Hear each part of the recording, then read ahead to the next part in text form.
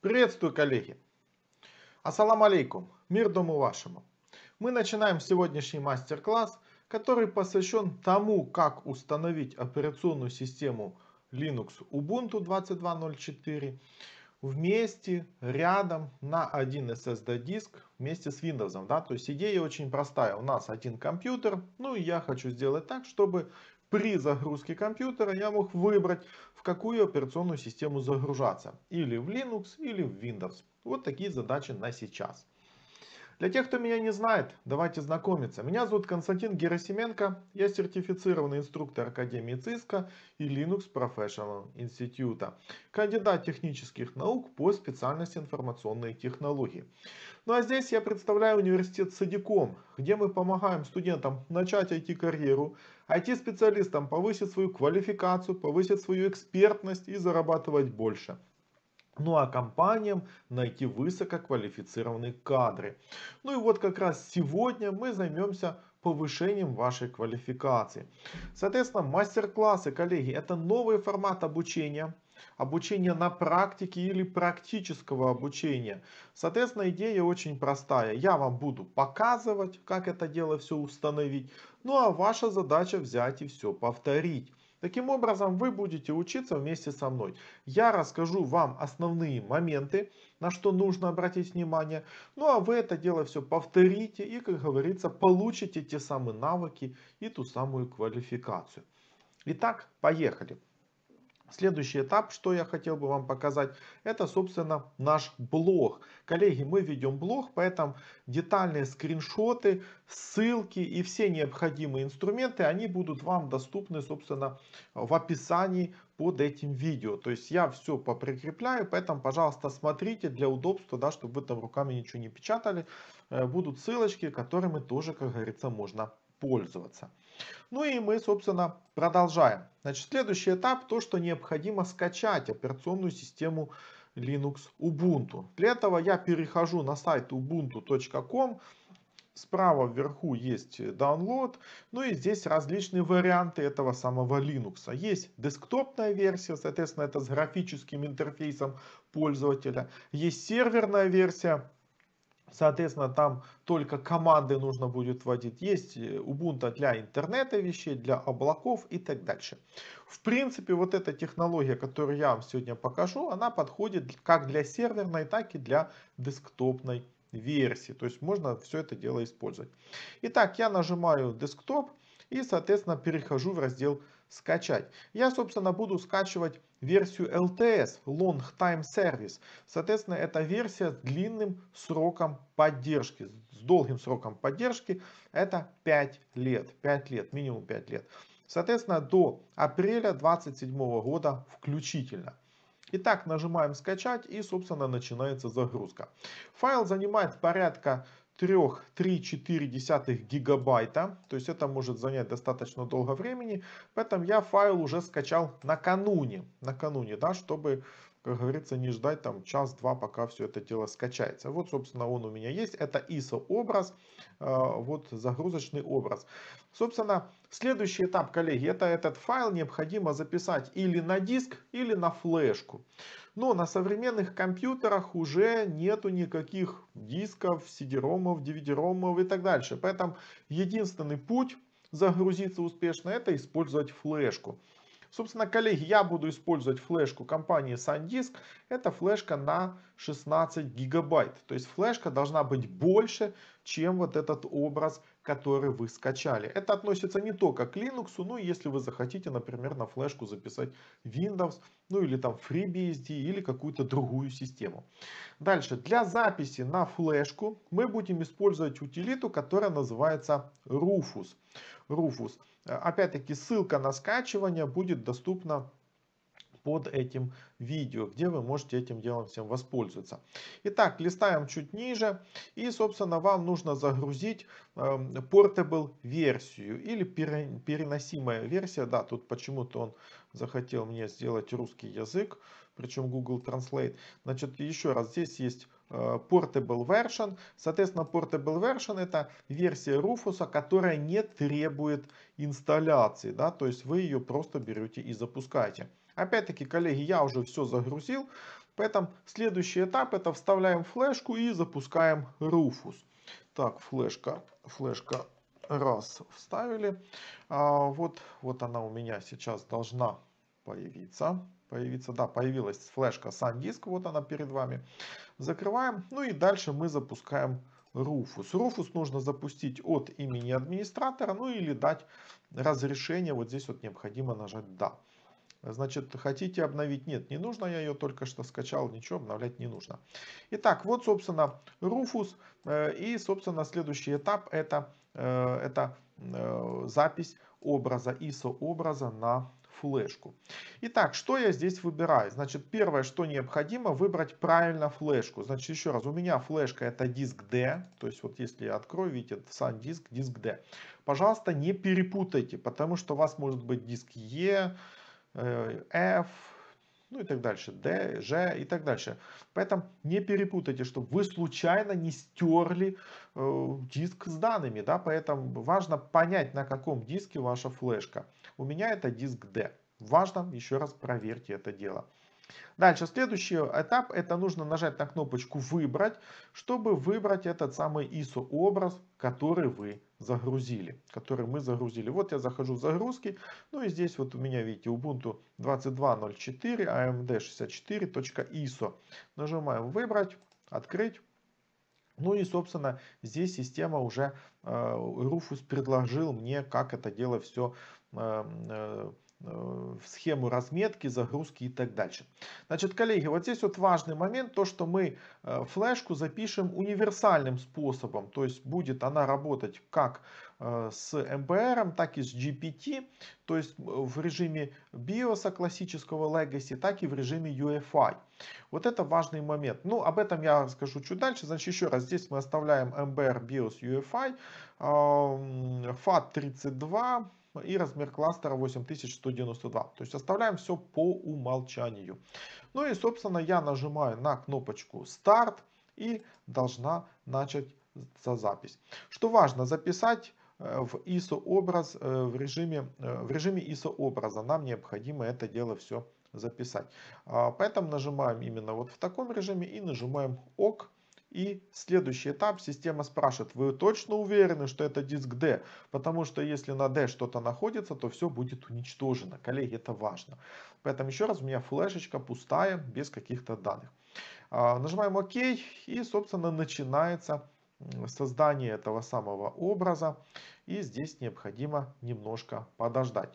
Э, сколько ждать зависит от вашего компьютера, ну и быстродействия вашей флешки. Флешка записалась, приступаем к следующему этапу. Руфус закрываем. Итак, коллеги, э, следующий этап это необходимо отрезать свободное место на диске для того, чтобы туда уже установить нашу Ubuntu. Для этого я щелкаю правой кнопкой мышки на пуск. И вот здесь вот нахожу управление дисками. Соответственно, я должен увидеть, какие есть у меня диски. Соответственно, у меня диск 0 это, э, это э, мой SSD диск, на котором, собственно, установлена система и, собственно, э, вот все, что мне здесь, как говорится, необходимо. Итак, что мы имеем? Значит, коллеги, здесь есть 450 мегабайт. Это раздел восстановления. Дальше следующий раздел 100 мегабайт. Это UEFI раздел. И, собственно, диск C. 118 гигабайт. И вот здесь, пожалуйста, коллеги, как говорится, будьте внимательны. Я вижу, что у меня есть раздел UEFI. Это означает, что мой компьютер загружается и работает в режиме UEFI. Да, то есть разметка GPT и, соответственно, UEFI.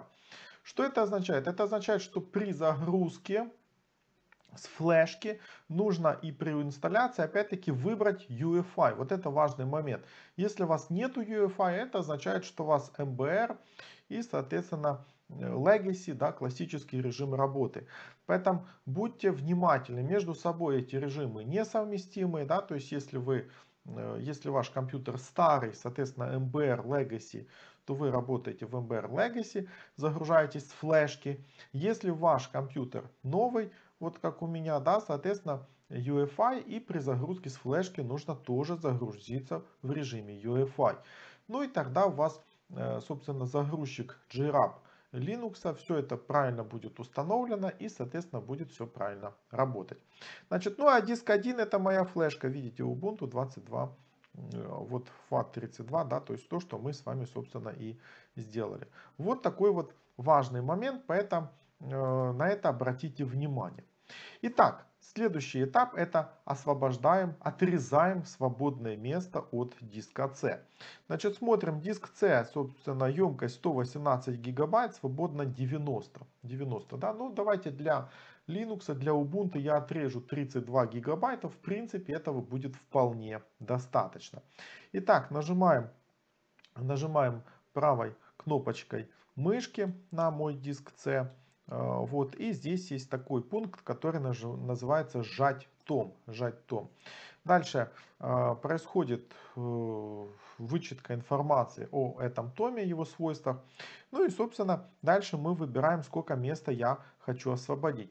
Мне система по умолчанию предлагает освободить все 93 гигабайта, но тогда на Windows ничего не останется. Да? Поэтому давайте я введу 32 700 68, то есть это 32 гигабайта. Нажимаем сжать и собственно у нас должно появиться свободное неразмеченное пространство. Вот оно с правой стороны, 32 гигабайта, написано не распределено. Соответственно это свободное место, куда мы будем устанавливать нашу Ubuntu. Что дальше? Следующий этап, коллеги, все закрываем, все закрываем, э, вот и по сути выключаем компьютер. Пуск, э, завершение работы, и мой компьютер должен выключиться. Так, ждем, когда выключится, выключится, выключится, выключится. И что дальше? Дальше, коллеги, при включении, сейчас я нажму на кнопку включения, нужно будет выбрать э, меню загрузчика, да, биосовского загрузчика, э, откуда мы будем грузиться. Здесь важный момент, то что в это меню можно попасть по-разному, в зависимости от того, какой у вас производитель компьютера. У меня это компьютер Fujitsu, поэтому это, комбина... это клавиша F12. У вас может быть F9, F10, F11, F2, F1, Escape. Опять-таки, смотря какой производитель компьютера. Вы скажете, как это узнать? Ну, как минимум, об этом пишется во время загрузки компьютера. Может быть, вы не всегда обращали внимание, но э, об этом пишется, когда включается компьютер. Ну, или вариант номер два, это загуглить, да, то есть написать в Google название компьютера, производитель материнской платы, там, биоса и так дальше, и можно об этом э, увидеть. Итак, флешка установленная, клавиатура под рукой э, палец буду держать над клавишей F12. Нажимаем на кнопку включения. Э, загорелась лампочка. Так, и нажимаем F12. Вот, собственно, коллеги, было только что видно э, то, что F12 да, можно было нажать. Итак, что мы видим? Мы видим различные варианты загрузки. Да? То есть, вот, пожалуйста, мой SSD диск 128 гигабайт. И там написано Windows Boot Manager. Дальше SanDisk. Вот это моя флешка, но опять-таки эта загрузка будет в режиме Legacy, да, то есть в режиме MBR, а, вот классического биоса. Нам же это не надо. Почему? Потому что мой компьютер работает в режиме э, Windows установлено в режиме UEFI. Поэтому я листаю чуть ниже и нахожу UEFI SanDisk. UEFI SanDisk. Да, мне нужно в режиме GPT, э, соответственно, UEFI. Э, вот, поэтому выбираем и нажимаем. То есть вы должны найти вашу флешку и в режиме UEFI. Нажимаем Enter. Ну и, собственно, вот, пожалуйста, у меня появилась загрузчик JRAP линуксовый. Э, который мне предлагает try or install Ubuntu. Соответственно, выбираем и нажимаем Enter. Ну а дальше происходит уже запуск самой Ubuntu. Этот процесс может опять-таки занять определенное время, зависит от быстродействия вашей флешки, быстродействия вашего компьютера. Да? То есть вот такое вот здесь красивое э, вот э, заставочка и это дело все грузится. Нам нужно подождать буквально минуту, пока это дело все загрузится. Итак, компьютер продолжает загружаться.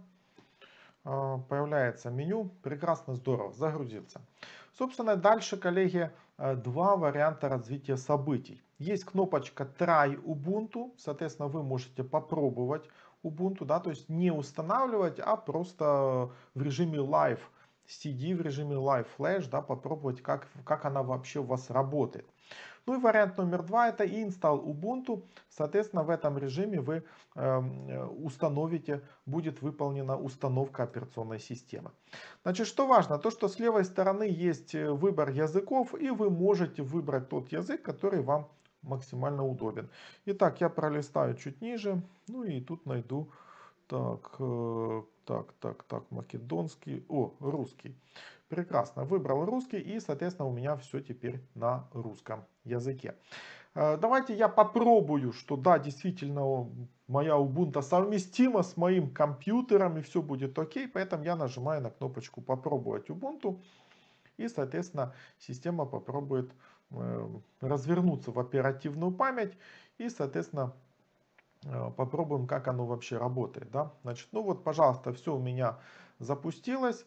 А, рабочий стол появился, появились тут иконочки даже какие-то, да, у меня появился сеть, сеть, да, то есть вот, пожалуйста, интернет у меня, по идее, все заработало, то есть драйвера, видео, все, в принципе, э, работает, да, то есть совместимо э, Ubuntu с моим компьютером, я запущу Firefox, ну и попробую выйти в интернет и заодно посмотрим, Э, как оно работает или не работает. Так, интернет, интернет. Так, Firefox открывается. Давайте попробуем зайти в Википедию. Википедия загружается. Соответственно, это означает, что все работает, все здорово, все окей. Да?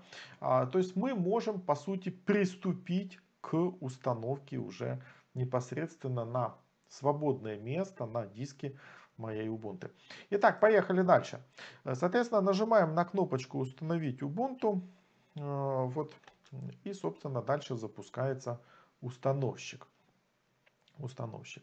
Так, вот так выглядит установщик. Соответственно, по умолчанию предлагается тот язык, который вы выбрали накануне. Соответственно, это русский. Э, вот, и мы здесь вот будем уже продолжать. Нажимаем на кнопку. Опять-таки, язык можете поменять на другой, тот, который вам будет удобен. Значит, э, продолжать. Так, следующий этап. Это раскладка клавиатуры. По умолчанию предлагается опять-таки русская раскладка клавиатуры э, того языка, который вы выбрали накануне. Но мне неудобно работать все время с русской раскладкой ввиду того, что в Linux команды, их нужно писать на английском языке, название сайтов в браузере на английском языке. Поэтому я хотел бы, чтобы раскладка клавиатуры была все-таки по умолчанию английская. Поэтому я листаю вверх и нахожу English US и, соответственно, English US. Здесь нажимаем продолжить. Следующий этап. Режим установки. Да, то есть это обычная установка. Соответственно, веб-браузер, утилиты, офисные пакеты, игры и так дальше. Да. Ну или минимальная установка. Ну опять-таки, коллеги, по умолчанию я вам рекомендую обычную установку, потому что будет все, что необходимо вам установлено. Дальше загрузить обновление во время установки. Если у вас есть интернет на в вашем компьютере и это не ограниченный интернет, то рекомендую тоже сразу обновиться. Следующая галочка весьма полезная, это установить э, дополнительное программное обеспечение, такое как драйвера к графической видеокарте, к оборудованию Wi-Fi, э, медиакодеки и так дальше. Соответственно, очень сильно рекомендую, если у вас видеокарта, например, NVIDIA, то драйверов по умолчанию нету. Соответственно, вот эта галочка, она вам установит драйвера. То же самое касается и Wi-Fi модулей. Э, вот, то есть мой компьютер сейчас подключен по кабелю к интернету, но также в нем есть Wi-Fi модуль. Соответственно, вот э, при установленной этой галочке все это дело будет установлено. Поэтому вот такие галочки мы ставим. Нажимаем продолжить. Следующий этап, следующий этап, так, думает, думает. Следующий этап это выбор диска, ну и собственно куда это дело будет все установлено. Значит, что мы видим? Тип установки. Ubuntu сама понимает, что мы хотим ее установить рядом Windows, да, поэтому выбираем первый пункт меню «Установить Ubuntu рядом с Windows», э, с boot менеджером. Э, вот, вот такая вот идея. Как она это поняла? Ну, очень просто. Мы освободили место, да, Ubuntu нашла это место, поэтому чоп туда сразу, как говорится, не установить. Есть вариант номер два. Стереть весь диск и установить Ubuntu. Коллеги, будьте внимательны, потому что можно все стереть и, соответственно, будет плохо. Но есть другой вариант, где вы можете самостоятельно выбрать, куда ставить эту Ubuntu. Я, собственно, выберу установить, первый пункт меню, установить Ubuntu рядом с Windows а, Boot менеджером и нажимаю установить сейчас. Дальше, собственно, здесь э, нужно согласиться, да, то, что э, будет отформатированы разделы там, да, в Extended 4. А, вот, то есть вот то свободное место будет создан раздел и туда будет установлена Ubuntu. Нажимаем продолжить продолжить. Следующий этап, коллеги, это выбор часового пояса. То есть, чтобы время у вас правильно шло на компьютере, нужно выбрать часовой пояс, где вы находитесь. Здесь можно просто на карте кликнуть э, приблизительно в то место, где находится ваш город, и, соответственно, будет нужный часовой пояс. У меня Ubuntu определила автоматически, что я нахожусь в Киеве, поэтому я оставляю Киев и нажимаю кнопку «Продолжить». Так. Следующий этап, коллеги, это выбор создания пользователя, имя пользователя. Соответственно, я на английском языке напишу user. Вы можете написать другой пользователь. Рекомендую вам с маленькой буквы, да, чтобы потом не было всяких э, непоняток, да, то есть, что система вас не пускает, а оказалось, что буква должна быть большая, да, поэтому сделайте все маленькие. Дальше необходимо создать пароль пароль. Э, пароль, если вы будете включать на вашем э, Linux OpenSSH службу и так дальше, да, то есть если будет возможность удаленного доступа к вашему компьютеру, то пароль должен быть серьезный. Э, вот. Если же вы просто будете за ним работать, то можно и создать пароль попроще. Я вот, например, создал сильный пароль. Сильный пароль, так повторяем его. Видите, сильный пароль. Дальше требовать пароль для входа в систему. Да? То есть каждый раз при загрузке компьютера я буду выбирать, э, я буду вводить этот самый пароль. И здесь все, нажимаем на кнопку продолжить. Ну а дальше, собственно, коллеги, начинается инсталляция. А, вот, и, собственно, это может занять некоторое время. Сколько времени это займет? Все зависит от того, насколько быстрый ваш компьютер и насколько быстрое подключение к интернету на время скачивания вот всех этих обновлений. Ну а пока ставится, коллеги, давайте поговорим о том преимуществах, собственно, операционной системы Linux, почему Linux вам нужен, почему без него сейчас нельзя. Дело в том, что сейчас Linux везде. Везде. Куда вы не посмотрите, Linux прям вот прям везде. Ну, например, если у вас мобильный телефон Android, коллеги, это Linux. Android это Linux. Если вы посмотрите сервера, на серверах в основном Linux.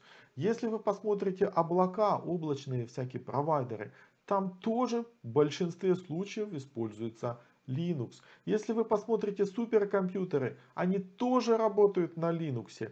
Ну, получается везде, в автомобилях, э, вот, умный дом, интернет вещей, ну, прям везде Linux, понимаете, да, то есть на телевизорах Linux там стоит, везде Linux, вот все, что не возьми, это Linux. Что это означает конкретно для вас? То, что вы должны владеть этими технологиями Linux, Почему? Потому что за это платят хорошую заработную плату. То есть вы должны быть квалифицированным специалистом, с Linux нужно быть на ты, ну и как результат вы легко сможете превратить ваши умения, знания в деньги. Вот, собственно, коллеги, я вас и приглашаю на курс, который называется Linux с нуля. Стоит он 24 доллара, длится 2 недели. 6 занятий, где вы изучите 18 основных команд для работы с операционной системой Linux. Вот, собственно, это дело вы установите себе вот сейчас Linux, да, и, собственно, приглашаю вас, где вы сможете это дело все, как говорится, на практике усвоить. Следующий этап, то что Linux он намного надежнее, чем Windows. Да, вот в Linux почти нету вирусов. И в Linux очень хорошо происходит разделение прав доступа. То есть даже если вирус заведется, то он заведется в конкретного пользователя. Он не повредит всю систему. Поэтому в Linux на самом деле большие перспективы. Ну и я вам так скажу, что вот этот вот Ubuntu 22.04 это одна из самых лучших операционных систем на данный момент. Поэтому э, за этим будущее, да, это не тот Linux, который был 5-10 лет назад. То есть сейчас здесь можно работать.